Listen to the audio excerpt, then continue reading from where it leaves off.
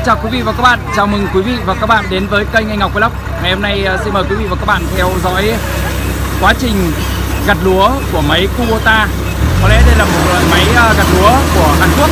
Và bây giờ xin mời quý vị và các bạn theo dõi uh, quá trình gặt lúa của máy Kubota này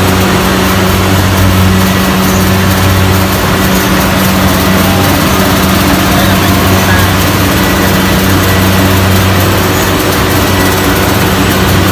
đây là khoang ờ, để ờ, lúa sẽ đi vào các bạn này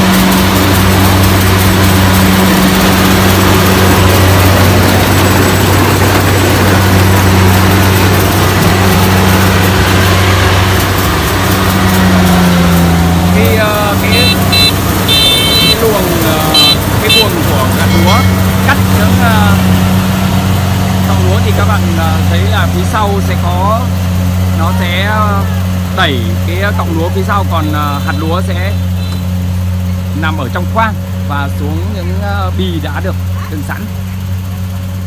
Các bạn ờ, quan sát thì rất rõ là cái quá trình gặt rất nhanh. Nuôi cái khoảng thử dụng này là khoảng bao nhiêu xào này? có đến hai xào không ạ?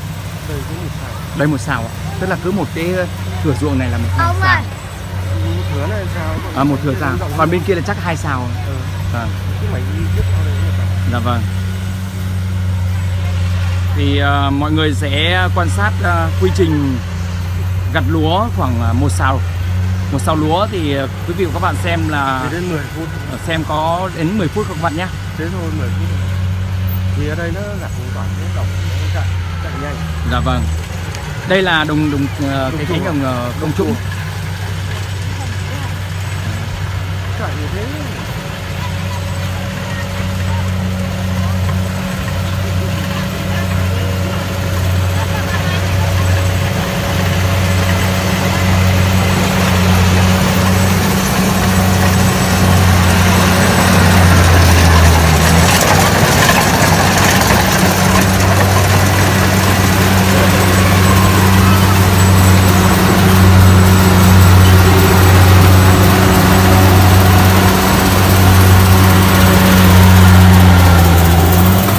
rất là nhanh.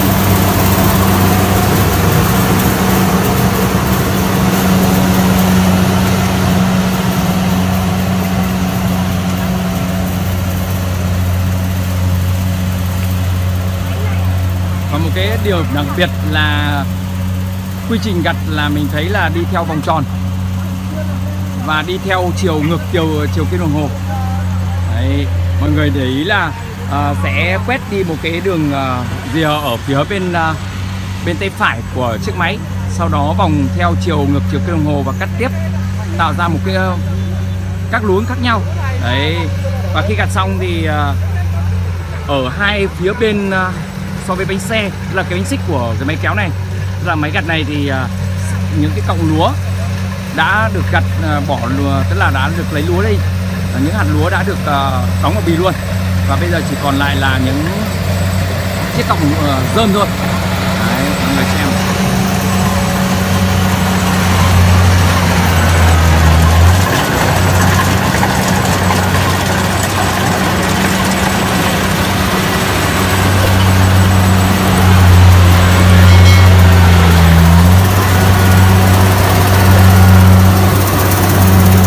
hai thanh niên ờ, rất là khỏe mạnh để ờ, hứng lấy ờ, những hạt lúa sau khi gặt xong đây là một quy trình ờ, phải nói rằng là hết sức là hiện đại.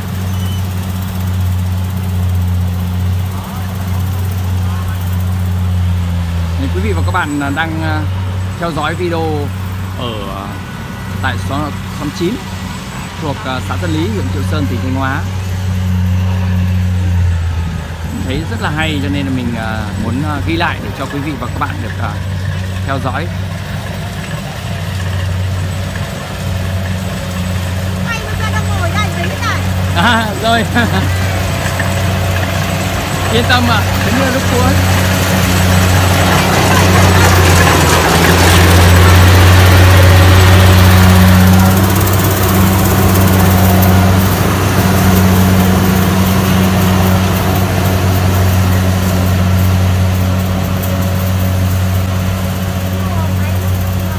Rất nhanh chóng.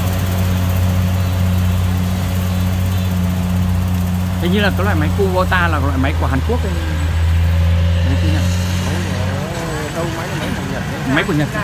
Máy Kubota Và theo chia sẻ của mọi người thì đây máy Kubota là của Nhật Bản. Đấy, một xào lúa thì qua video clip của mình thì ờ, gần và đã hoàn thành rồi các bạn Đấy, đã hoàn thành rồi.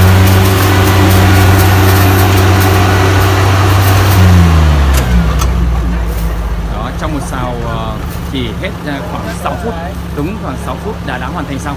Bây giờ mọi người thấy à, các anh à, bên máy gặt đã hoàn thành xong một xào lúa và đã đưa lúa xuống. Đây là người cái khoang để chứa lúa đây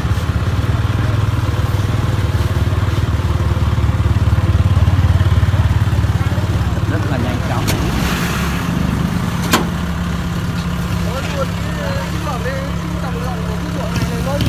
đây là Một sao, à đây là một xào luôn xào theo chú chia sẻ cho cháu. Một đôi, hai đôi, ba đôi, tám bao. Tám bao. Ờ, bốn tám thì ba trả hai cái dọn này lúc phải ba trả hai. thế thì ờ, năm nay thu hoạch thì ờ, khoảng là một xào. Đây là một xào lúa thì tám bao này. Thu hoạch được 8 bao. 8 bao thì khoảng ba ba ba tạ hai lúa khô.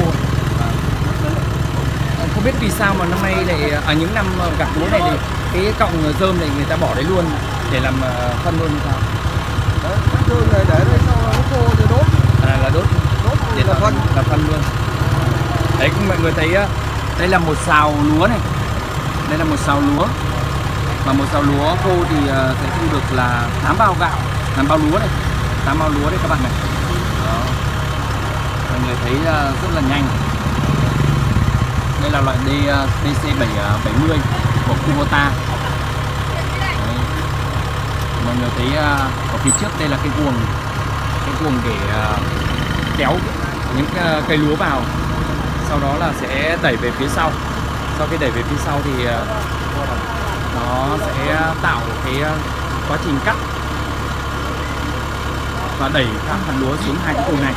Để các bạn thấy xuống hai cái vùng này. Hai cái vùng và hai cái lỗ để đẩy cái lúa xuống tức là đưa cái, khoang trên có cái chữ Kubota này DC70 thì à, lúa sẽ từ đó sẽ đưa xuống và người à, đứng ở ngay cái khoang này để à, đưa lúa vào trong bát. Và bây giờ đã hoàn thành xong một xào lúa. Đấy, mình quay lại cho quý vị và các bạn ờ, được biết được cái quá trình sử dụng máy gặt hiện đại hiện nay. Sau khi gặt lúa xong thì mọi người thấy đây là một công đoạn hết sức là thô sơ tức là dùng sức người sẽ ờ, đưa những ờ, bì lúa lên trên phía trên đường bê tông này. Và sau đó sẽ vận chuyển về nhà. Đấy mọi người thấy ờ, Mọi người thấy chưa nào? Cái tôi giờ đó đầu là? Đó. Qua đây về cái cây luôn luôn luôn. sử dụng công nghệ gặt với công nghệ cao với thời gian cũng như là công suất rất là nhanh giảm tối thiểu về cái thời gian ờ, để gặt lúa như ngày xưa thì ờ, dùng sức người để ờ, gặt bằng tay. Nhưng bây giờ sử dụng máy để gặt rồi. À, tuy nhiên thì cái công đoạn này thì ờ, bắt buộc phải sử dụng ờ, sức người để ờ, vận chuyển lúa.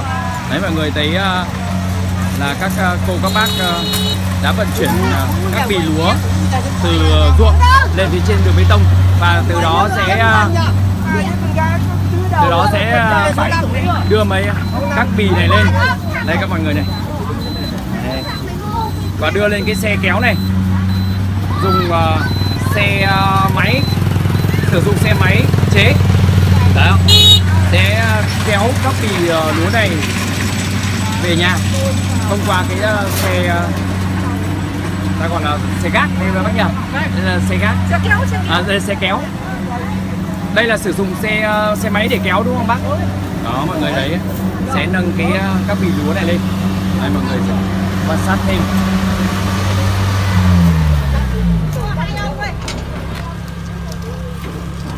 Đấy. mọi người sẽ xem ờ, quy trình sau khi gặt lúa xong. Người nông dân sẽ đưa các bì lúa này trở về nhà thông qua. Quay lại nhá. xe bờ gác này cái này vào trong bố cái ruộng sông này cho vài biết nhá.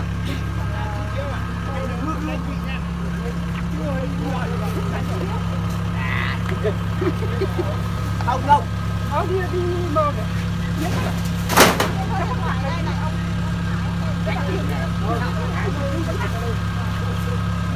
Làm hai chuyến chưa? năm năm nay có được ờ, mùa không, bác ơi Ô Như- như này có em mua được mùa không? đang bị bạc lạc hết rồi á. Này có xếp này. Trong kịp. như này một xào mà thu hoạch đấy thì có có được thu hoạch tốt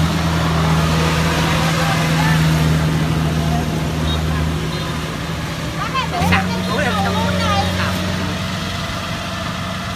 Giờ thì kia này như mấy kia là vào cảnh không luôn.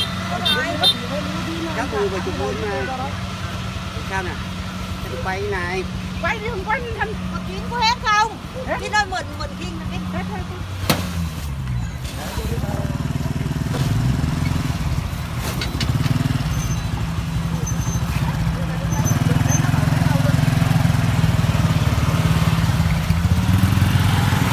đó bằng sức người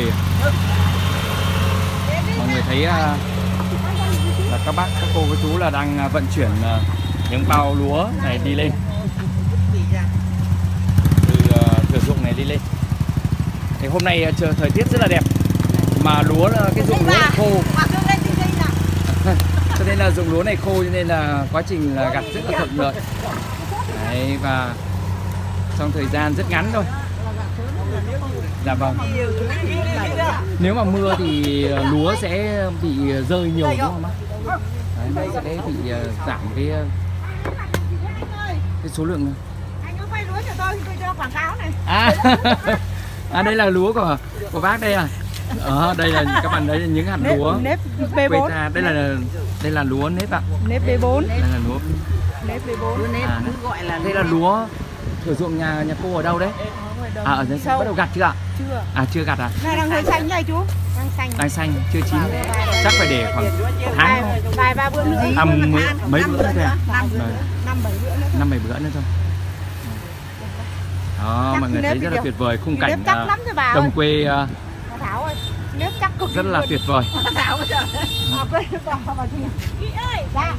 à chị á chưa mai nữa chưa? dạ đó Ôi, thì mưa mưa cả làng là tặng nước mặt đi. À? mọi người rất là thú vị Có phải đâu nữa? năm nay là gặt được rồi đó, mọi người thấy à, không khí à, ở đây à, rất là vui nhộn vào cái thời điểm mà đang gặt lúa này. Rất là vui. Cảm ơn quý vị và các bạn lắng nghe. Xin chào và hẹn gặp lại quý vị ở các video tiếp theo. Xin cảm ơn quý vị và các bạn đã lắng nghe và theo dõi.